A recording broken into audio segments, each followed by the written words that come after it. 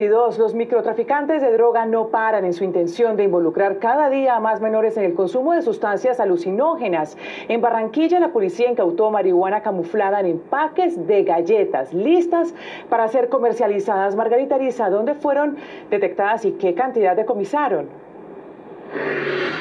Ana Miley Televidentes, muy buenas tardes. Estos supuestos paquetes de galleta eran transportados en una camioneta eh, tipo BAMS. Allí dicen las autoridades que estaban listas para ser distribuidas a expendedores, a personas que las comercializan muy cerca a los colegios en el suroccidente de Barranquilla. Fueron 12 paquetes. Dice el comandante que de cada paquete de estos sacan 2.000 dosis, es decir, que con este decomiso se evitó que unos 24 mil menores cayeran en las garras del microtráfico.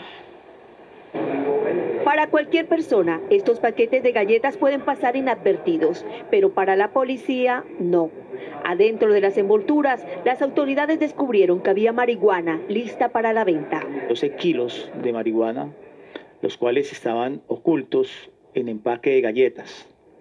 Allí, en este hecho, hay dos personas individualizadas, la cual muy seguramente estaban dispuestas a reclamar esta mercancía. Dice el comandante de la policía que esta es una estrategia para pasar desapercibidos por los alrededores de los colegios, incluso adentro, pues los paquetes de supuestas galletas no despertarían sospechas.